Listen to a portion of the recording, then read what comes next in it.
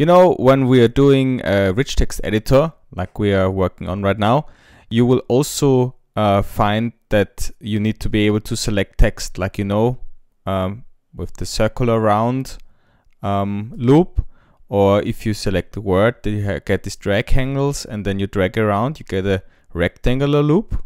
Yeah. So these are the things users would expect.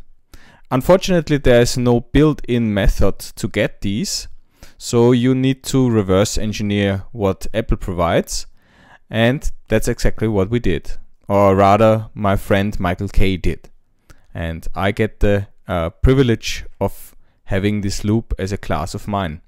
So let me show you. That's how our loupe looks.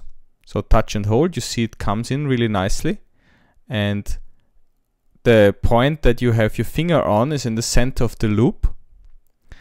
Um, you can, can also have a simple rectangular one or use the one with the arrow pointing to your finger. And the cool thing about reverse engineering this um, is actually you can specify your own magnification factor. So like really, really big yeah. Okay, let's do the circular one. Really big, 2.5.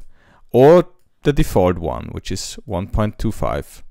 And you can see uh, by the means of DTLoupe, you can quickly and easily add magnification to your own uh, classes. Doesn't have to be uh, a text editor, could be an, an image viewer or anything where you would want the user to kind of just look at as a part of something, I think that makes for a really great effect.